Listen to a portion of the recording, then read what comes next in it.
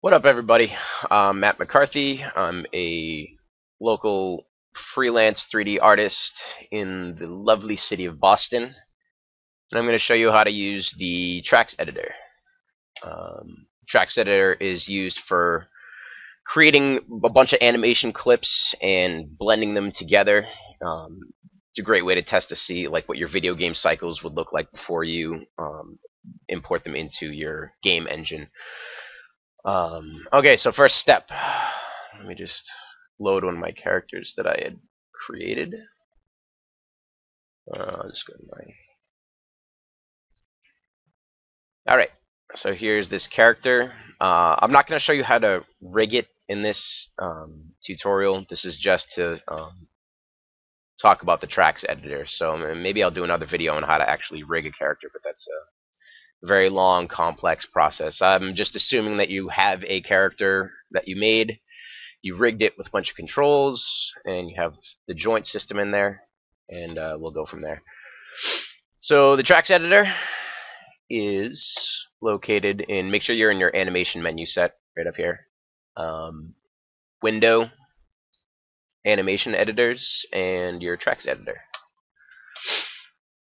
Now, the first step in using the Trax editor is you need to create a character set. Now, what the character set is is basically um, it's almost like a quick select set of a specific group of controls, but it's like a selection of controls to to be used in the Trax editor. So um, basically, the the first step would be to you you take all your character controls, just highlight them.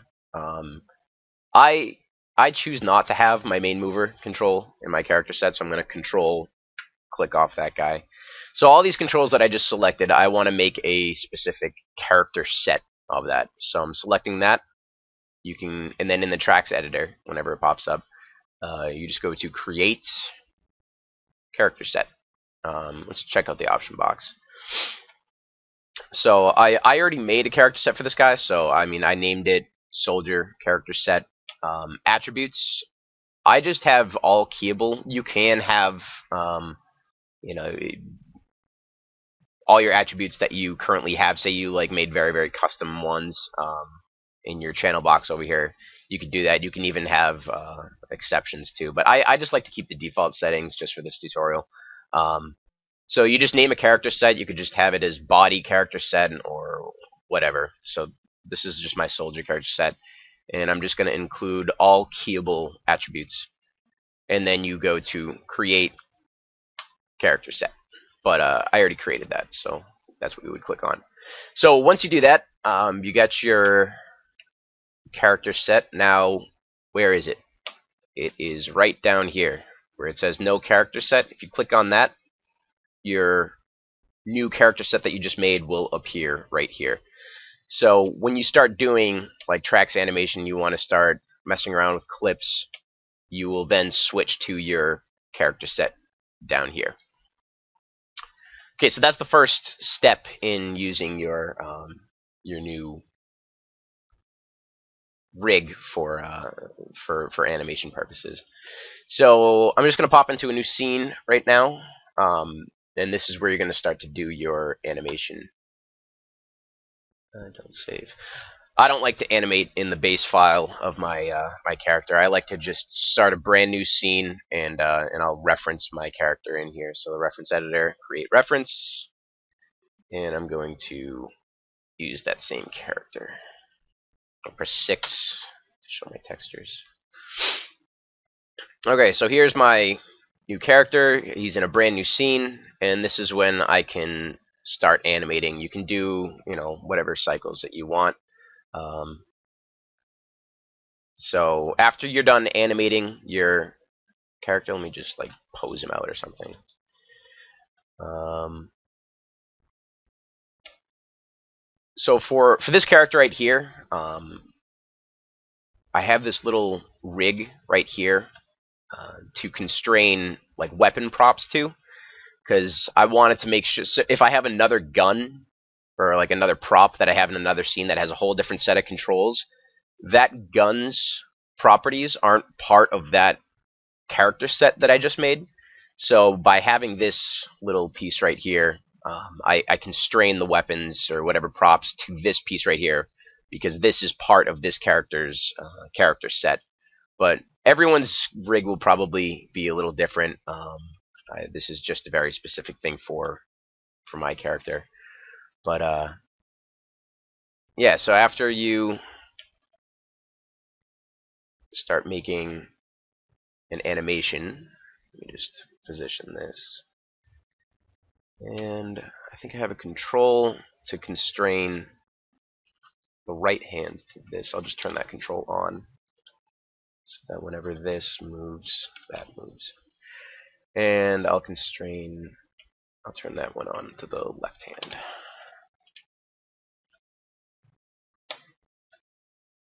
Alright, so uh, let me just turn off my joints, make sure I don't select my joints. So when you do an animation cycle, you always key first and the last frame should always be the exact same position. Um, and then you go somewhere in the middle to... You know, this is a very, very simple just demonstration of what uh, you would do when you're animating and setting up a clip. Sorry, this is very, very bare bones. This is just to get the idea across. Okay, so say I have my awesome walk cycle. It's pretty sweet. Um, now, uh, the, the most important thing when you're creating these animation clips, from what I've noticed, is really making sure that you really have a key on the first and last frame of all your controls in uh, in that specific character set that we just made. So, um, all right, so made sure I had a keyframe on the first and last frame. This will be a 48 frame walk cycle at 24 frames per second. Um, so after you do that, um, we'll go back to the Trax editor. I have it on my shelf right here. You'll see it, uh, the little icon is just a TE for it. But again, it's in Window, Animation Editors, and Trax Editor. Um, so that animation that we just did, that 48 frame animation. Um, now we're going to want to take that and make a clip out of it. So to do that, let's load our soldier character set, or whatever you have. Now when you do that, you can see that you'll see these keyframes pop up in your time slider down here. Um, this will show you literally every single keyframe that is applied to all the controls on um, on your. Notice how I don't even have uh, any of the the controls selected. It's just showing me that there are keyframes of this character set located in here. This is this is all the controls that I keyed. So once you have your character set loaded, um, we're going to in the Trax editor. Uh, you will notice this little um, box up here creates animation clip. So let's check out the option box of that. So create animation clip, and we will, uh, I'll just call this test walk cycle. Um, let me just make sure I have all the settings reset. I'm just going to reset the settings. So by default, here are the settings. I'm using my 2013, by the way. Um, so by default, it's going to take the animation curve, so all the curves, um, whatever we had in our time slider in our uh, on our graph editor. Um, let me just. So it's going to take all these curves. Oops, and make a clip out of it. You can have uh, very specific um, time ranges. So if we want to just select shift select all this right here, you could even set, you know, just selected. Say your animation goes on to maybe like 60 or 100 frames or something like that, but you just want to make an animation cycle out of, you know, whatever. You can just do it by selected. But for this, I'm just going to take the animation curve. Um, oops. Create animation. All right. Uh, so let me just type in walk test walk cycle. Test walk cycle. I'm going to leave everything at default right here. Uh, the channel offsets, I'll get into this a little bit later. This is a little confusing, um, but I'm just going to keep everything else default right here. Uh, right here, it's going to put this this new animation clip in my Trax editor and uh, the visor at the same time. So let's just go to create clip. And so now we just created an animation clip. Now, if you want to see all the clips of this specific character set that we have, uh, there's a little button in your Trax editor. It looks like a little stick figure with a plus next to it. When you click on that, that loads your current, it's just like a visual uh, thing uh, to see your character set loaded up here.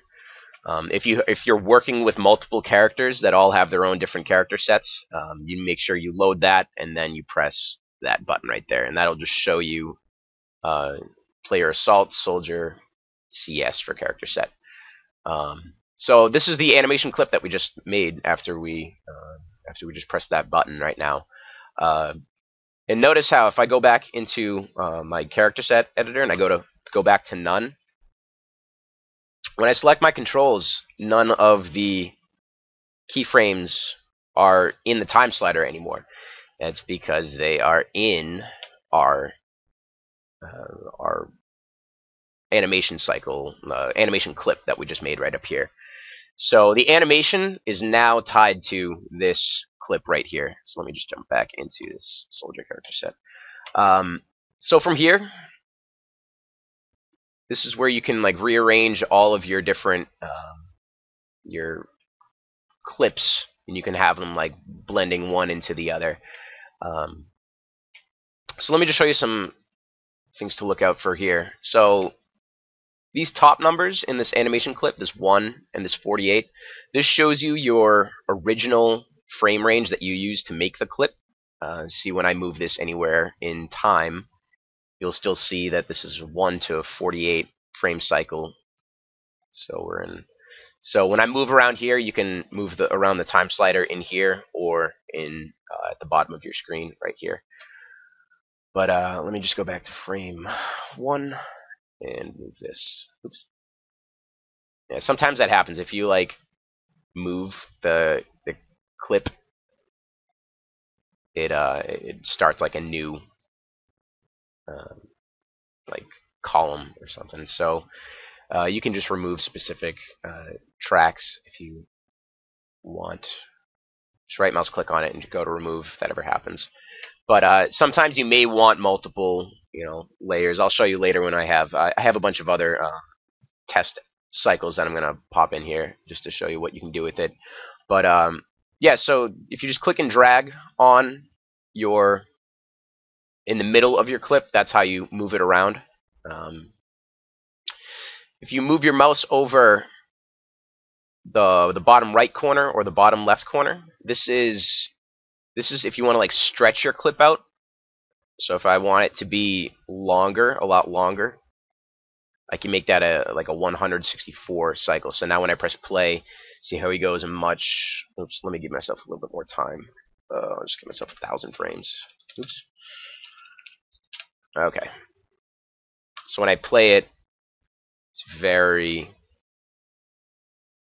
long. So if I want to shrink it up and make it faster, oops, uh, you can just click that and drag it to make it faster. So now you can see it goes much quicker. But uh, it is a 48 frame cycle. Now, if you wanted to duplicate and repeat this clip, multiple times. Uh, you, there's multiple ways that you can do that. Uh, if you just Control D, Control Duplicate, um, it puts a new clip on a brand new track. I can even drag this down onto here, um, and that will repeat your cycle. Uh, another way of doing that, instead of having a Control D to duplicate all your clips, if you hold Shift and click on this click and drag on the bottom number right here. I'm holding shift. When you drag that out, see how it's it's it is duplicating that clip and you can see at these check these little tick marks that that is when the the, the beginning and end of a new uh, cycle. So shift shift clicking and dragging will uh, will basically do the same thing as repeating your animation. Now, uh, these clips right here, they're located in your visor. That's where, if you don't know what your visor is, that's where like all your paint effects are located. You can jump to the visor through the Trax editor just by going to uh, File and Visor. Please don't crash. All right, good. there we go. So your character clips um, in this visor are in your character clips tab right here. So you can, uh, it's just like the default place where it saves it to. Um, after you create an animation clip uh, or any kind of animation cycle, I like to export these to a different folder. So um, if you right mouse click and hold on your character clip in your visor, you can even do it through here too. Um, you can click on your your character, but basically you just go to File and Export Animation Clip, and you can just save them to a folder on your uh, on your computer somewhere, uh, just to stay organized and just to just just to have them in a safe spot. Um, all right, so let me just show you. Let me delete this and let's show you a couple of other things. All right. Just make sure I'm still going. Okay. So I have some other character animation cycles that I've made. If you want, if so, I if you have a whole library full of cycles, um, make sure that you're on your character um, set. Make sure that's loaded in there. Uh, go to the frame that you want to import them in, and if you go to File, Import Animation Clip to Characters, do that, and uh, so I saved them into this clips folder right here. So let me just have, I have a an idle cycle that I made, uh, idle cycle TE clip, and I'll open that. So that pops in my characters idle cycle. You can see them down here.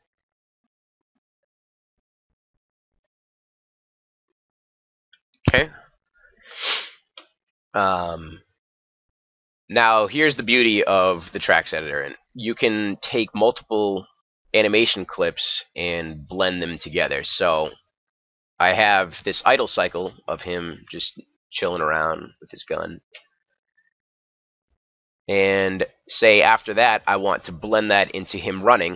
Uh, well, I made a run cycle, so let me go to that frame, uh, 205 import animation clip to characters, and I have a run cycle, and I name them TE clip, Trax editor clip. That's how I know that it's different from the actual scene that I made the cycle in, and this is just a clip.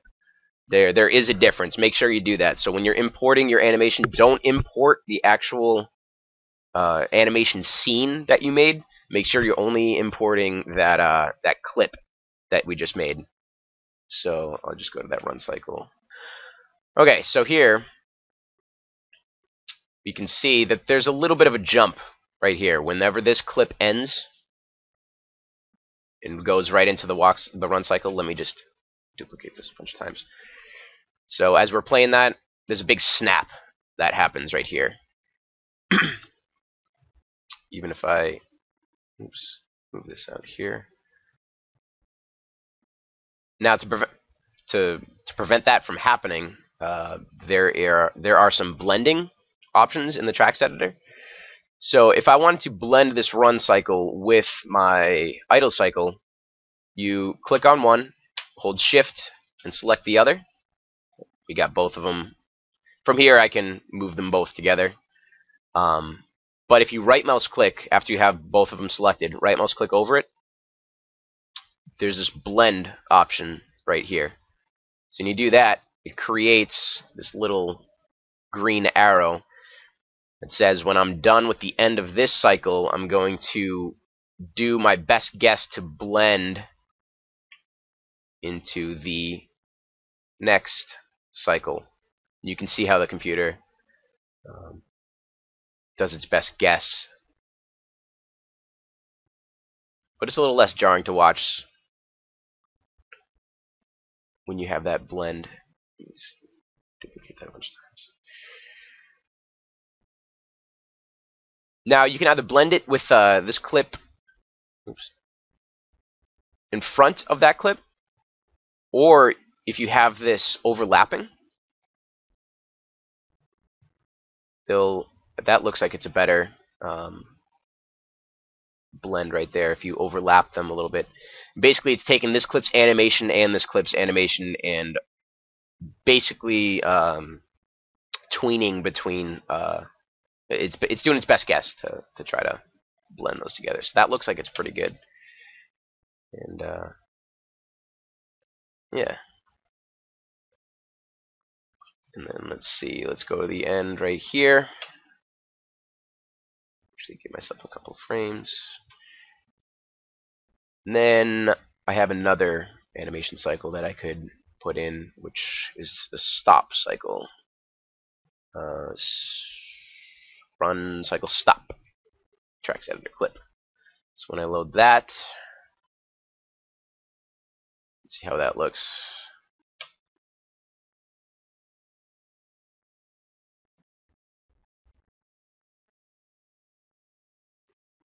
There we go. So you kind of get the gist of uh, you know what's going on here. Now, let me get let me talk about the channel offsets. That cha the channel offsets can be a little confusing right now. So each of these character clips, when you click on them, um, just make sure you're in your attribute editor. This uh, this first box right here. Um, so when I select one of our animation clips, this channel offsets right here, if your animation is doing something like very, very strange where your you know controls are either shrinking on each other or you know arms are popping way out there when you're blending between certain clips. It has some it has everything to do with this channel offsets right now. Uh, make sure when you have this selected to click this all absolute button right now. Make sure all of our clips are all absolute. Basically, what that's saying is make sure that um, all the controls are 100% the value that we initially keyed them at. Um, with that that initial animation cycle that we made, if you have it all absolute, that is it is 100% going to behave exactly how you originally animated it. What relative is, and I, I've I don't really use it, but there are specific cases where you would want to use it. It basically, uh, it almost like layers your animation on top of each other based on the last clip. So say you have a character that's that starts running from your uh, from your center point right here.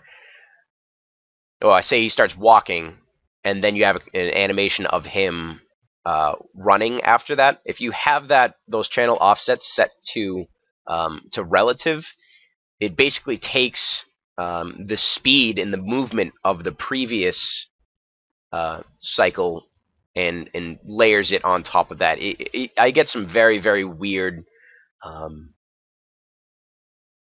uh, you, get some very weird behavior when you do that. So I, I, if you're just doing animation cycles for like video games and stuff, I'd really just stick with that. Um, the the absolute all absolute values. Um, so let's see. Oh, here's something that may look a little weird. If you have two animation clips on top of each other without that blend, Maya does a very strange thing where it it's taking both animation uh,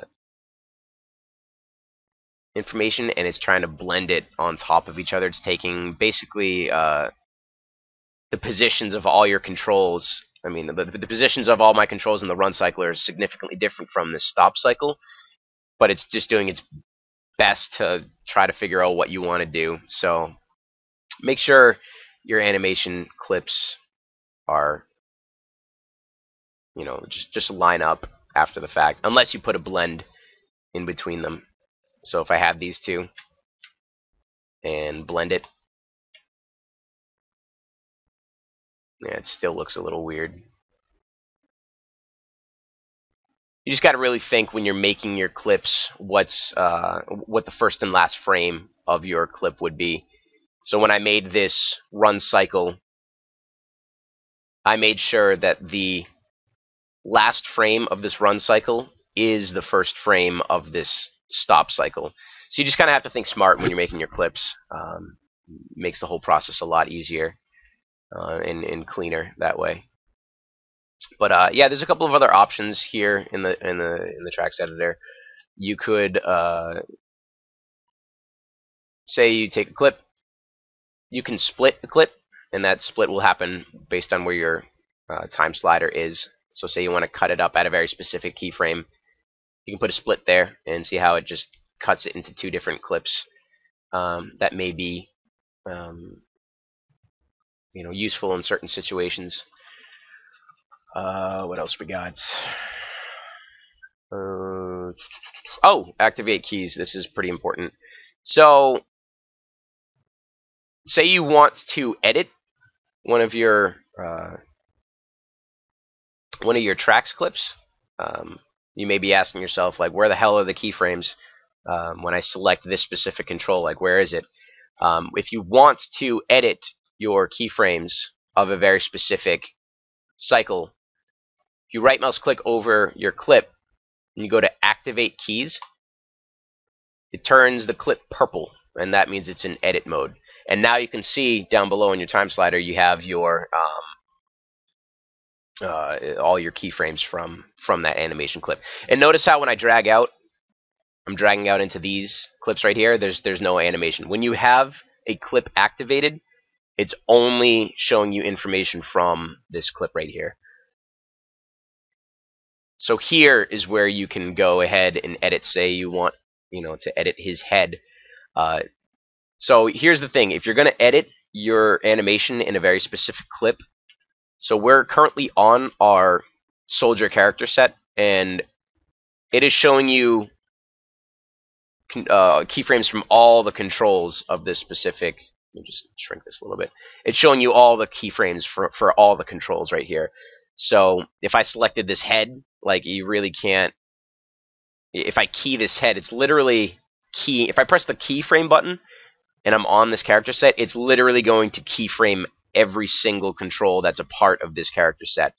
So if you want to just edit a very specific control, just turn off, uh, go to, go back to none. So now we can single out specific controls um, to edit and then here you can, you know, readjust. You know, say I wanted his head to look way up, right there. I don't know why, but just uh, just to show you.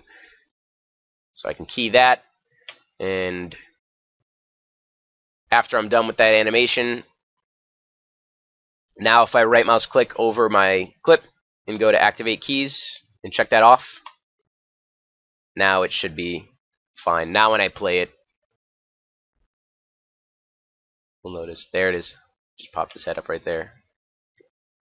So that's how you can edit some of your animation. Um, and say you're, um, you know, reusing rigs. Uh, let me bring in another character. This is also a, a great reason to use your uh, your Trax editor if you're trying to, if you have multiple animation clips and multiple characters.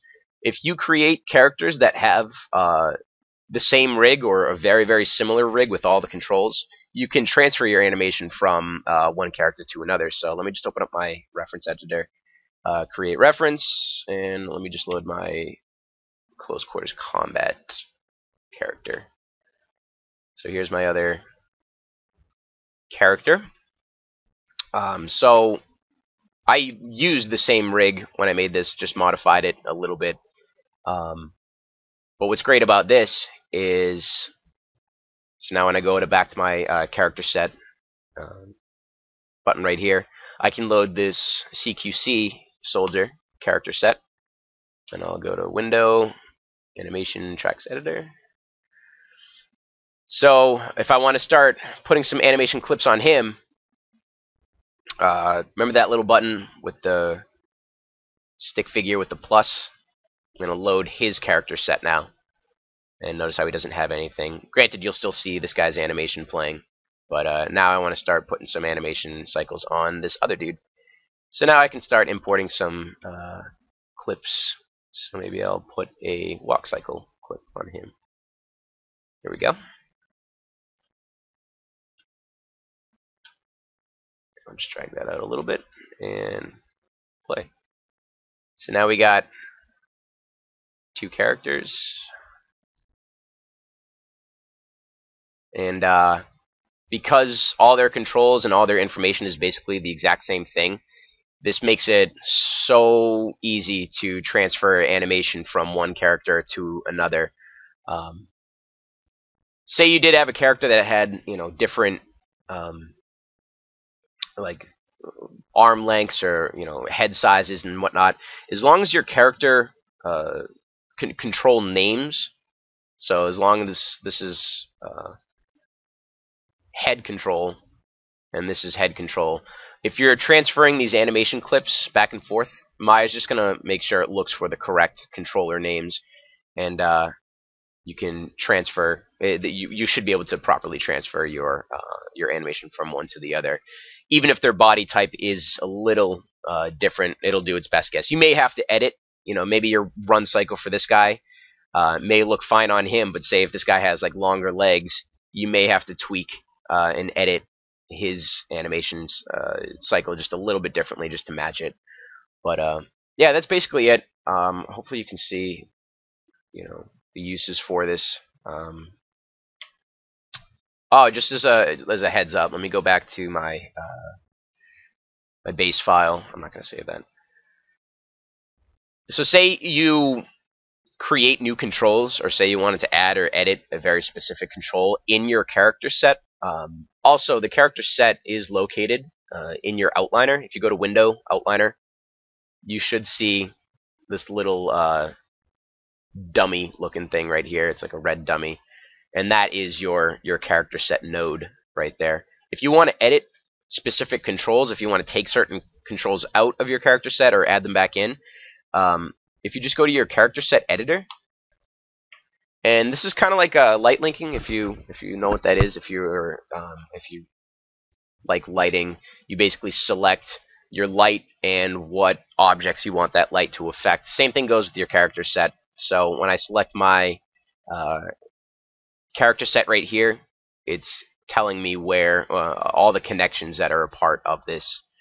So um, let me just grab the controls. If I just grab all of his controls and go to auto load selection, uh, this shows me all of the controls that I have applied to that. So say you uh, you make a new control for any uh, specific reason, uh, you would just go back into this character set editor, select your soldier, and then uh, yeah, let me just do that right now. I'll just create like a NURBS curve or something. I'll just bring this up, and yeah, so when I select, if I have that selected, and you just go to that auto load selection, it should pop up right here whenever I have it selected. So if I wanted to add this new control for whatever it is to this, you select your soldier and then select that NURB circle. Now that's part of your uh, your character set. We can see uh, if you click on that, this should be highlighted. But uh, yeah, that's just a brief uh, overview of the Trax editor. Hopefully, it's uh, it helps you in your animation uh, creation process, uh, making new cycles and transferring them from one character to another. Um, if there are any other you know things you guys want me to cover, uh, let me know, and I'll do my best to making a tutorial whenever I get around to it. So uh, thank you for watching. I think that was kind of lengthy. That was 35 minutes. I'll try to condense that next time. But yeah, thanks for watching and take care.